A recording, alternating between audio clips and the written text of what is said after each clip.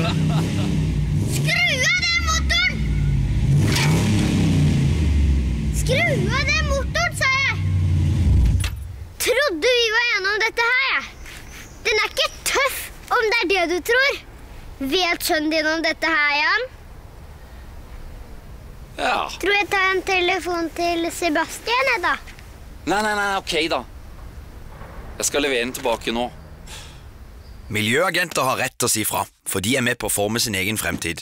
Du kan melde inn ditt barn på miljøagentene.no. Jeg er ikke sint. Jeg er bare veldig, veldig skuffet.